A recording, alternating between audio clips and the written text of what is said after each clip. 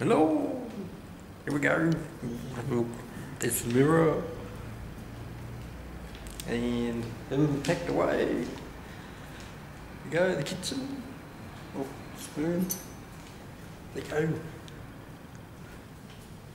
This had copies. There's the kids. You don't eat anything, eat anything when you're uh, when you're out doing Lego. And go. The bedroom. It's a bit broad. We uh, got the the sunshade in because the sun's so bright. But we can see the uh, the ocean. There, the surfing, surfing in the ocean. And this is where most of the Lego group, they, for the Brisbane Lego uh, Sunshine Coast group, they meet. Either they go to the campsite or they get a hotel room like this one.